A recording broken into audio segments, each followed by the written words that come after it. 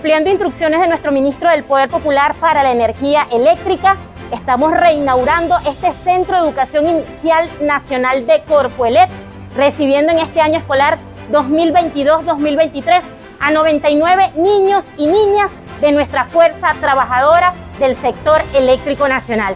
Nosotros seguimos trabajando, seguimos avanzando, presidente, para poder garantizar el bienestar no solo de nuestro pueblo, sino de nuestra fuerza trabajadora. Bueno, aquí estamos, en el Marqués, ícono de Corpuelé. Estamos reinaugurando este centro, 99 niños que van a estar siendo atendidos de la fuerza trabajadora, parte de los niños también de la comunidad, aplicando el punto y círculo.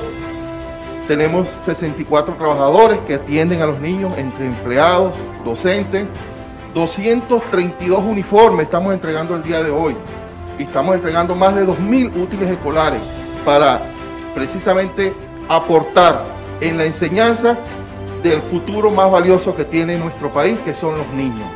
Cumpliendo con las instrucciones de nuestro presidente en el arranque del año escolar, nosotros venceremos.